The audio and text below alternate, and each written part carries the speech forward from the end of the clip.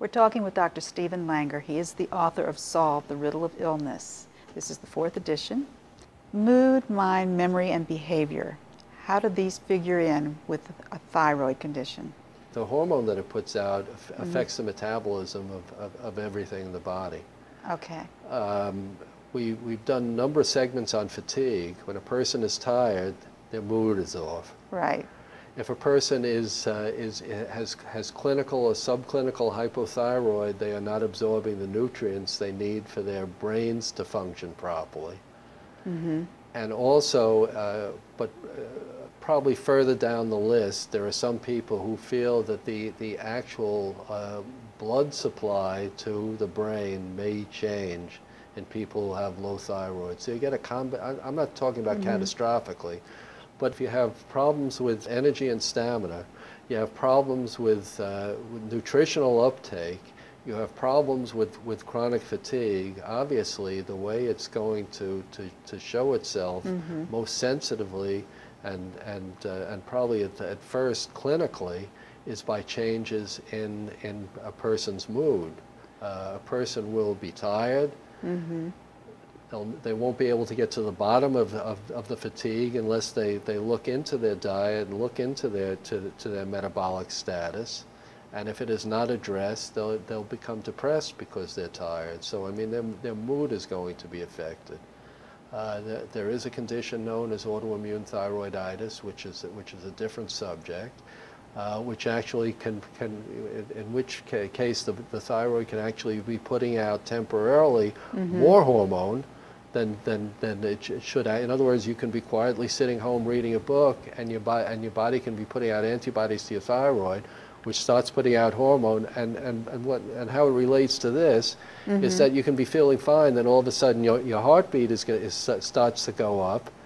And, and you don't know what's going on, and you become, you become anxious, and the more anxious you become, the, the more your mm -hmm. heartbeat changes and, you, and, and a lot of people develop full-blown anxiety attacks or can, can actually develop panic attacks. So you can get, I mean, you can get really major mood swings from depression to panic, anxiety, uh, if, if you have one of the, these And that's all connected with the thyroid, and that is a condition of where you're putting out too much a little too much thyroid based on an autoimmune. I don't want to get. I don't want to get. Okay. I, I, I just wanted to, to, to bring it up to, to show that it is, you know, this kind of a mood swing, mm -hmm. which is considered, uh, you know, a serious condition. And sure. I mean, to stick with the autoimmune, which which we haven't gone into in great detail, but which which is quite common, to stick with this. I've seen people who've actually been diagnosed as bipolar because they go from low energy uh-huh. to, to, anxiety. They go to depressed because they have low energy, and then they, their thyroid temporarily puts out too much hormone, and they get anxious. And, the, and, and if it is not diagnosed, they're, they're, and, and they, they keep going in and seeing clinicians, sooner or later they're, they're diagnosed as possible bipolar disorder.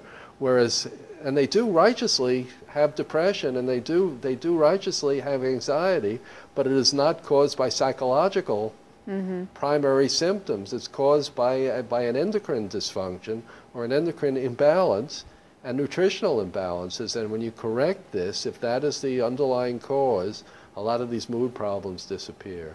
And obviously, if your metabolism is sluggish and you're not getting the nutrients, mm -hmm. your concentration is going to go. So people, people who are, who are sufferers of underactive thyroid frequently can't think straight they can't concentrate on anything again, which causes them to become depressed, mm -hmm. and uh, and and their short-term memory is is uh, you know is is, uh, is is impaired, and that usually is what we see is is short-term memory. thyroid certainly can uh, indirectly be associated with long-term memory changes. I mean, no one knows, mm -hmm. for mm-hmm. example, the the the underlying cause definitively of what's called Alzheimer's disease, but certainly nutrients are involved in it. And there are a lot of people now who are doing research into free radicals mm -hmm. as a mm-hmm. possible uh, causative factor. May not be the whole cause right. in the Alzheimer's. So, it, so in other words, antioxidants are involved in it. Certainly, feeding your brain properly with mm -hmm. the mm-hmm. essential nutrients and assimilating, in other words, utilizing the nutrients that you're taking are, are important. These are all impaired with, you know, with an underactive thyroid. So it's imperative for a person uh, you know, who is suffering from, uh, from problems with mood, mind, memory, and behavior like everything else, if it's not an acute emergency where you are a danger to yourself or to other people, the first thing to think of is, is your nutritional status, your digestive status, whether or not you're assimilating the nutrients, even if you're getting them, and your endocrine status, and most importantly with that is your thyroid status to make sure that you metabolically that you're sound and you're able to your your nervous system is able to utilize all of these these uh, these nutrients to stay healthy. Okay, well, thank you for that information, Dr. Langer. We, Pleasure. we really appreciate it.